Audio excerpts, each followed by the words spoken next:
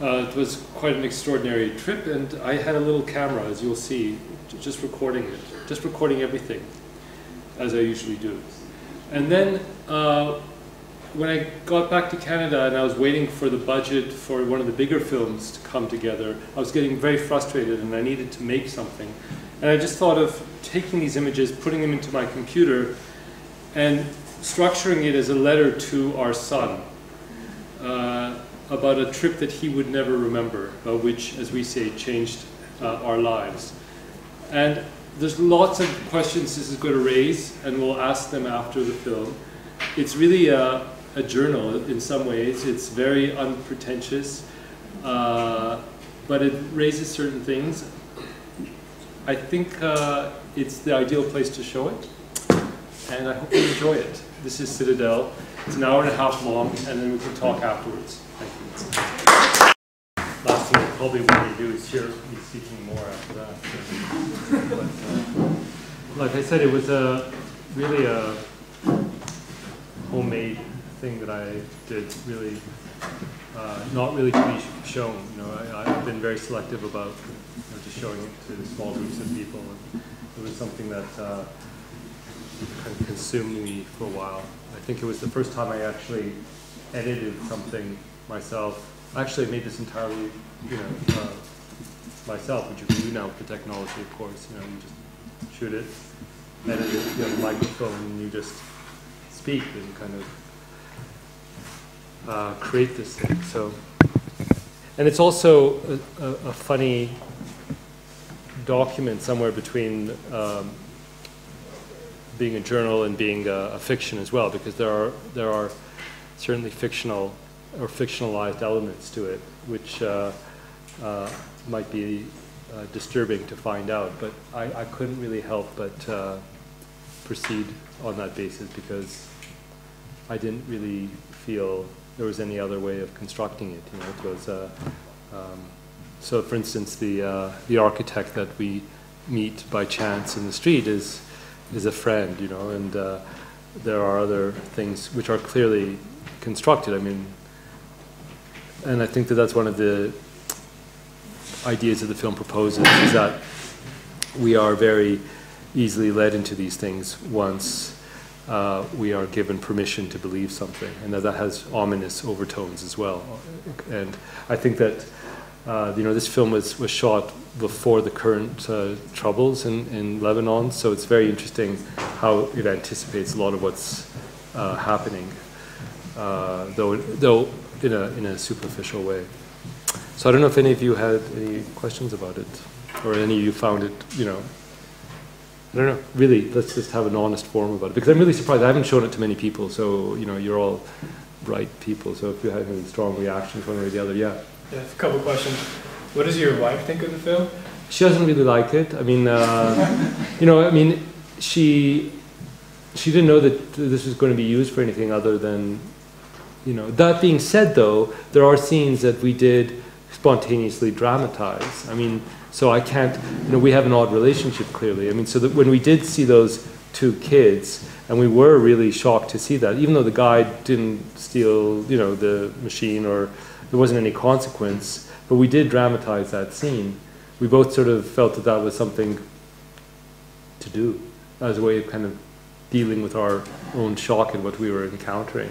So I guess it's also a chronicle of a very, you know, uh, there's, you know, it, it's unusual I think one of the things that was because we had a retrospective of the films uh, last month in, in Paris, and it is unusual that you know we've had this relationship for as long as we have, uh, in terms of you know my photographing her, you know, and and uh, this uh, strange ritual, you know, which which is difficult to let go of. I mean, once you start it, once you actually begin that. And when do you plan to give to your son? Well, you know, that's the other fable. I mean, he's seen it. I mean, there's no, you know, like, uh, it's not as though it's been withheld from him. I mean, you know, he was aware that I was working on it, and, uh, you know, he was, I was showing, you know, that, that's again, it's a, it's sort of, a, it, it's a dramatic uh, device. The whole idea of it being a, a, forbidden letter is sort of a dramatic device. It's not, it's not, it's not. Uh, there's nothing in it he couldn't see. Though that's true about his mother smoking and things like that. I mean, so he found out through the film that that was, uh, you know, that was what was going on. What did he think? Um, again, you know, I, I, I think when you, uh, I've never, you know, uh, let him, I mean, if he wants to watch the films, uh, you know, then he's free to, but I'm never going to like, you know, tell him he has to watch this or provoke his reaction. I much, I think there's much more important things for him to be reading and watching than his daddy's movies, you know, so, uh, you know, I think that, uh, uh, he, you know, he, I'm much more interested in kind of discussing his reaction to Animal Farm right now, which is the book he just finished. So, I mean, I think that that's, uh, you know, he, he'll, he'll, he'll respond to these uh, films uh, when and if he ch- chooses later on, I think. Yeah. Yeah, I was wondering about the process of constructing it and the fact that what you had preconceived, and you, you, you know, you happened to be shooting in the Citadel and then you came across these two boys. Yeah. Um, and, uh, I mean, well, I also wanted to know, you said you found it shocking. I mean, I, I would, I guess I would find it surprising, but I wanted to know what, the- if the shock value was the fact that it's an Islamic. Yeah, I mean, and the shock is that in fact it was a public space, and the fact was that if they were caught, they would have been in real trouble. Now, what we didn't know while we were there is that in fact, you know, uh, Tripoli has a quite a strong gay scene, and uh, what we didn't know also was that uh, though it seemed very public, that was a particular area that uh, for some reason it's sort of sequestered, but we didn't know any of that. And in fact, you know, if they were caught in that culture uh, in a public space, that they would have been severely reprimanded. So we, that's what we were reacting to. And if you hadn't come across that scene, That, that, that scene we came across uh, uh, early on in the trip. So a lot of what we were then reacting to was, you know, uh, have, have, that scene had, had happened. And then, um, uh, let's see, that moment in and Shatila, I mean, that was also a weird coincidence. Like, uh, like uh, so um, things began to sort of develop. But you know how it is? It's quite amazing, I think. I mean, many of you, I mean, I've never shot a documentary, and but it's strange that when you are in a process, sometimes your antenna are in a particular place, and you are uh, somehow responding to circumstances in a different way. I mean, I think you are also doing that when you're creating drama, and you're tuned to certain uh, frequencies in a way that you couldn't be all the time. But uh, I found that this was uh, a really strong experience from that point of view, especially in that culture, uh, where you felt that there were these negotiations that were going on at all moments. Uh, that and, and and it seemed, on the one hand, there's something very casual, but there's something very uh, uh, strained as well.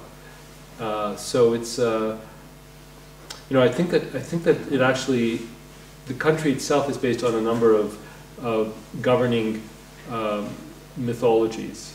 Uh, and I think, even though I sort of go over it very quickly, and I'm not sure how many of you actually picked it up, but that whole idea of how the Constitution is formed is very unusual. And it is quite, um, quite bizarre that, that it, though it functions as a democracy, uh, it's true that the outcome is fixed. I mean, and that, that balance has to be kept at all times, which is why I think the whole um, uh, the Palestinian situation, you know, threatened to overwhelm that. And uh, you know, it, you know, it, it, it's, and I think what's what's going on now is also, you know, really troubling because that's going to overwhelm that constitution as well. If they were to take a census now and figure out how many uh, Christians are left in Lebanon, I don't think that they'd be able to sustain the current constitution. I think it's just based on this on this myth, and it's probably been like that for a long time. But no one really wants to address that. Maybe, maybe again, it's, it's a result of this uh, colonial, you know, past that it's had.